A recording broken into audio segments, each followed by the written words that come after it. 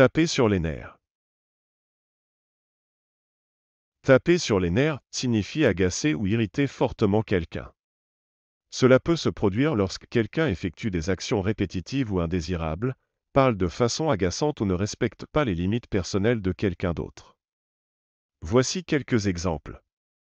Les enfants qui crient et courent dans les couloirs de l'hôtel peuvent taper sur les nerfs des autres clients.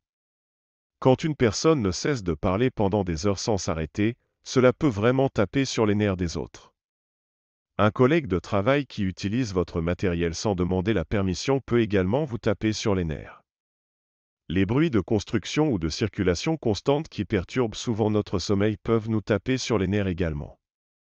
En somme, taper sur les nerfs est une expression courante pour décrire une situation où quelqu'un ou quelque chose a le potentiel d'agacer ou d'irriter quelqu'un d'autre de manière significative.